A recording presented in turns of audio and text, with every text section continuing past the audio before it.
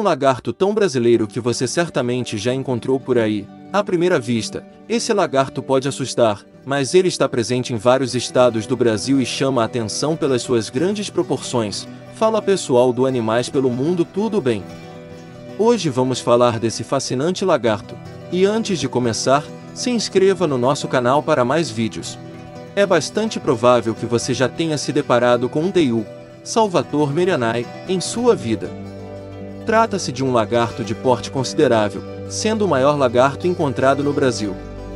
Seu corpo pode atingir até 50 centímetros de comprimento, mas se considerarmos o comprimento de sua cauda, ele pode chegar a incríveis 2 metros no total. O teiu apresenta uma combinação de cores que mesclam tons de preto, amarelo e branco, e suas laterais são adornadas por pequenas bolinhas claras. Encontra-se em todas as áreas do Brasil e até no norte da Argentina, sendo mais abundante no sul, sudeste, nordeste e centro-oeste do país, exceto na floresta amazônica. Tem o hábito de marcar território, é adaptável e consegue se ajustar facilmente a novos ambientes, o que explica sua presença nas grandes cidades. Embora tenha um comportamento agressivo, geralmente tende a fugir quando se sente ameaçado, com uma dieta onívora e altamente diversificada, o teiu consome uma variedade de alimentos, carniças, carnes em geral, insetos, aves, roedores, anfíbios, outros lagartos, ovos de várias espécies, além de frutas e folhas de diferentes tipos. Assim como o jabuti, desempenha um papel crucial na dispersão de sementes, pois inclui vários tipos de frutas em suas refeições. Uma curiosidade sobre o teiu é a sua grande importância na comunidade indígena.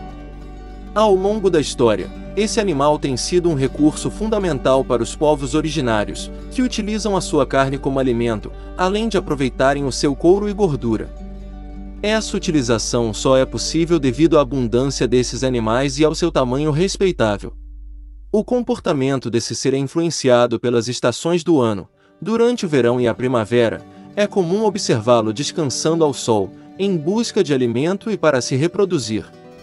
No entanto, nos meses mais frios, entre o final de maio e o final de agosto, ele entra em hibernação, permanecendo inativo em suas tocas por longos períodos. Reprodução: a fêmea chegam a fazer uma postura de 12 a 35 ovos, variando de acordo com o tamanho do animal. E aí, pessoal, o que vocês acharam desse lagarto? Deixe aí nos comentários o que você achou. E não se esqueçam de se inscrever no canal para receber mais vídeos.